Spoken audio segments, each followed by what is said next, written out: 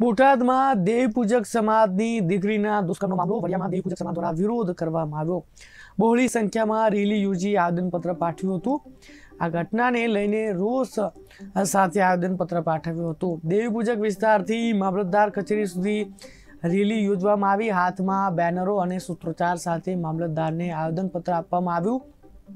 આરોપીને ફાંસીની માંગ સાથે આવેદનપત્ર પાઠવવામાં આવ્યું વડિયા શહેરમાં.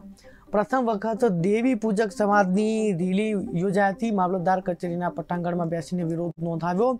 ન્યાય આપો ન્યાય આપોના સૂત્રોચ્ચાર કરવામાં આવ્યા.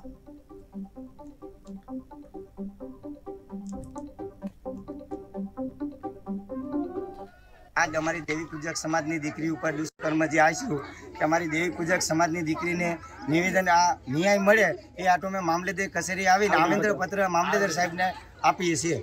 કે આ દીકરીને ભારતીબેનને ન્યાય મળે. બોટાદ ગામમાં જે દીકરી માટે ન કરવાના કામ કર્યા છે, એટલે અમે આ રેલી કાઢી છે. તમારા મોટા માણામાં અમે એવું ન સમજતા કે અમારામાં કઈ તાકાત છે નહીં.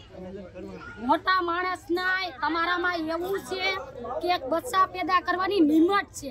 અને અમારા દેવી પૂજકમાં બચ્ચા પેદા કરવાની નિમત નથી. અમે કદાચિન બધાય તમામ ગામના દેવી પૂજક ભેગા થઈ અને પાકિસ્તાનની સરહદ ઉપર ઊભા રાખજો ને એટલે અડધા પાકિસ્તાનના ફોજને તો પાછા પગડવાની તેવડ છે. પણ અમને એક સરકાર માથે ભરોસો છે.